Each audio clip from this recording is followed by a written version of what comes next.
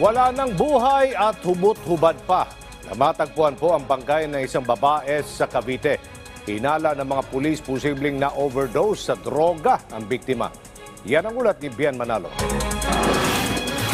Hubot-hubad na nang matagpuan ng mga otoridad ang babaeng ito sa isang bahay sa Tanza, Cavite.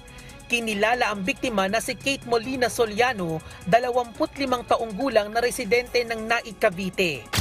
Sa report ng Cavite Public Information Office, wala umanong nangyaring foul play at tanging pagbula lamang ng bibig nito ang nakita na hinihinalang na overdose dahil sa ininom nito. possible na pinagamit siya ng illegal drugs?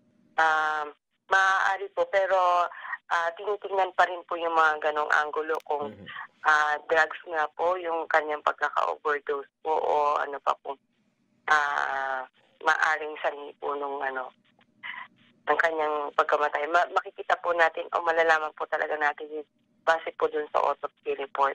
Isa sa mga itinuturong huling kasama ng biktima ang Nigerian national na siyang nagrenta sa bahay kung saan nakita ang bangkay ng biktima.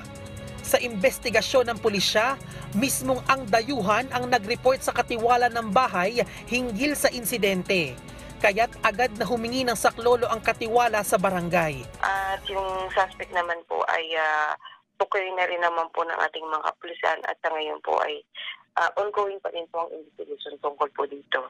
Sa patuloy na pagsisiyasat ng mga pulis, tumambad sa kanila ang mahigit isang kilo ng hinihinalang shabu na nagkakahalaga ng 8.2 million pesos. Inaalam din ng mga otoridad ang pinagmula ng kontrabando, maging ang tunay na dahilan ng pagkamatay ng biktima. Kung titingnan natin sir yung ah, mismong ah, crime scene, ah, wala po siyang saplot. Pwede pong ah, may, may gumamit sa kanya. Pero still sir, ah, mag-base pa rin po tayo dun sa report po na ilalabas po ng ating forensic unit. Nagpaalala naman ang mga pulis sa publiko na maging maingat sa mga nakakausap sa social media.